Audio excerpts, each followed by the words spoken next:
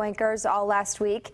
It is because Avery, my partner in crime, went to the happiest place on earth, Disney World. I did. We did. Yes, your it family did. Yeah, uh, so I had my uh, iPad in hand when I told the kids where we were going. So I, just because we surprised them, we didn't tell them until the day before we were leaving. So check this out.